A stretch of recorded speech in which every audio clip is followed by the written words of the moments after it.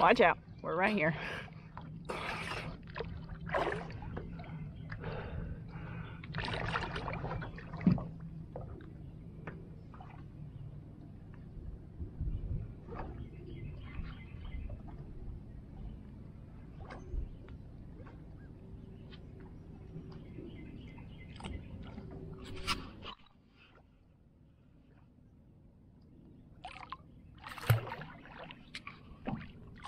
I gotta be able to hold on to it.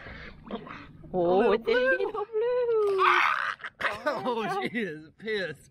And these blues get mad. All that work for this little one. Look at this little fish. Look at how pretty. She is. She is. Aw, Chomping. Yeah. She. all that for her. Oh, look, this little Little baby.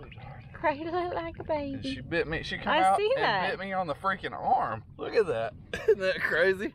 That's where she bit oh, like that. Goes. That was it. yeah.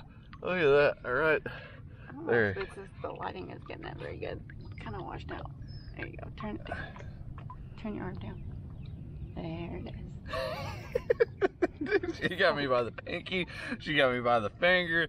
She got me on the arm. She was not a happy camper, but that was still fun. Oh, that was fun. So little.